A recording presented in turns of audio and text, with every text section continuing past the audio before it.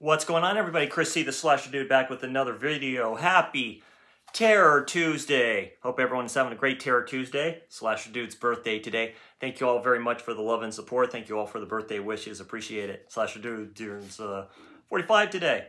Is having a great Terror Tuesday. We're in the rocking gear here. We're all good to go. If you like what you see, go ahead and uh, go ahead and um, axe to the head that uh, there we go. Axe to the head the um, the notification bell and stuff like that if you like the content, if you like freaky, if you like geeky, if you like slashers, like myself, then um, yeah, go ahead and uh, go ahead and uh, subscribe and uh, slash that like, ladies and gentlemen. Today's Terror Tuesday, we're going to be talking about Saw 10. Saw 10, done in 2023 last year. Uh, Tobin Bell, I forget the other uh, actress's name, plays, I believe her name is Sarah, from um, the first Saw, the second Saw, and then Saw 3, which is my favorite of the franchise. I really like this franchise. This takes place between 1 and 2. John Kramer, played by Tobin Bell, is going out to uh, get the... Um, trying to find a way to cure his uh, cancer. It's pretty deep scene at the start. He's getting the brain scan and all this stuff too. He asks how much time he has left. Um, they don't give him really a timetable, but they basically do a patient, because they're going through the motions and all this stuff too, they have groups to help deal with it and stuff like that too. It's like I have cancer. This other person in this group says I have cancer. He sees him, I forget how much later. He's like cured. He's like, yeah, it's just a procedure. Shows a scar on his stomach. It's like these people are kind of against the grain against big pharma. And um, he finds out about them, John does, and then he goes to uh, Mexico where they're based at there's this whole thing looks like it's a kidnapping and stuff like that. It's like in this mansion type place in Mexico way out there in the boonies, like in this land. And then uh, the woman that runs this place says, yeah, we can help you. Uh, my father was really wanted to fight the good fight, tells tells him about the procedure and all this stuff too, of how they're doing, how they do it and stuff like that too, these introductory videos.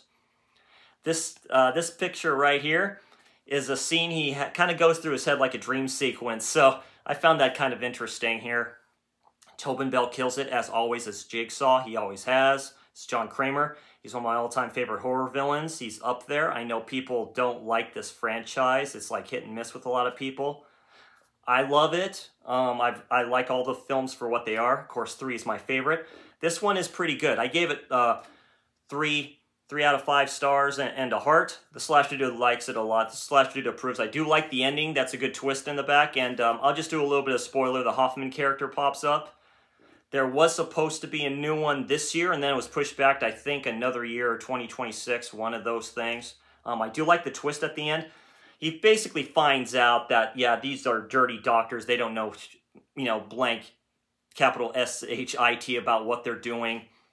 He finds out about it he enlists her to help him, that character from the first and second one.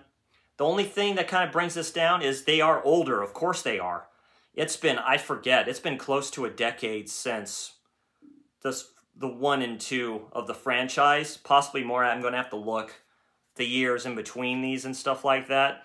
Other than that, they play. I'm annoyed by her character a little bit Sometimes they kind of force feed this stuff kind of down your throat. A little heavy-handed stuff in here. Other than that, I do love the twist at the end. Um, all in all, yeah, three three stars out of uh, out of five and a heart for the slasher dude. Personal review, about a six, a good uh, a mid six out of ten.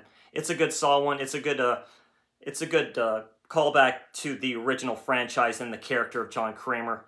And I love Tobin Bell as an actor. He just kills it all the time. He's what makes this film. Of course he is. So, uh, yeah, just a quick uh, thoughts and review on this uh, Terror Tuesday of Saw 2. Anyway, if you could, sleeping bag to subscribe, slash to like. Go on uh, GoreAphobe's channel, aka Keith's. I'll put that info uh, down in the info bar to vote for a horror YouTuber of the Month. Of course, the birthday slasher dude here is one of the nominees. Uh, Ginger Ninja is another one. Just go on there, vote for whoever you want. This is a great horror community, and the slasher dude is uh, happy to be here. Anyway, you all have a great Terror Tuesday. I will see you awesome people next time. I want to play a game.